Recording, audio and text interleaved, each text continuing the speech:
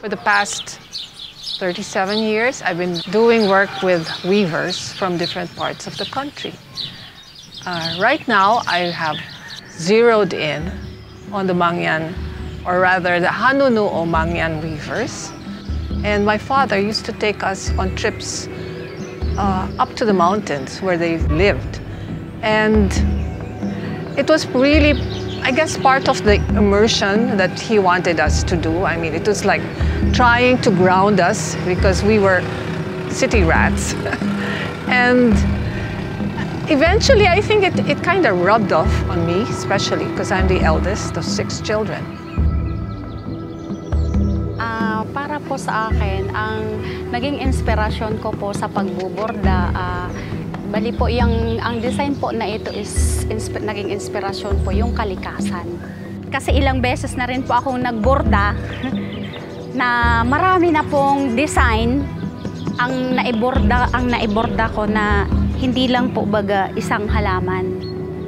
Kaya po, sabi ko po sa inyo na yung kalikasan ko po talaga, yung kalikasan po ang aking inspirasyon.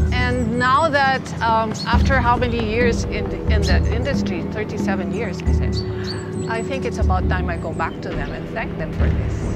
And just like what I've been doing, like I said, going back to them meant so much for me because now I can look back and say, you've helped me. I mean, because of the memory. I mean, it, it's not because of what they did, but it was like the idea behind it, the, the knowledge that I took from them.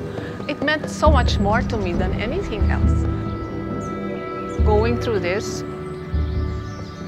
it's actually my way of trying to preserve their culture and uh, their heritage, just so that the children and their children's children will have a connection to the past. And just like me, I would like to share this with them.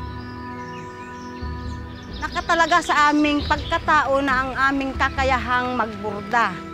We read uh, these value cards, and it's a sharing of thoughts, experiences, life itself, and I couldn't have learned it from anyone else. Uh, for me, that's very comforting.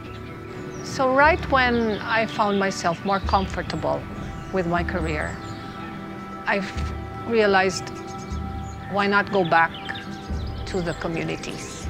And uh, it was probably a vision from way back that this was the path that I would take. And somehow the weavers themselves, they inspire me to do better work and innovate, design new pieces, and uh, just like I said, uh, create more works of art.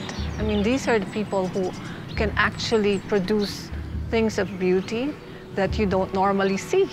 So uh, again, it's, it's a, a journey of gratitude. It's being able to manifest God in our lives. I mean, it's like how we are contributing to society. And that, I think, is one of the most important things in this life.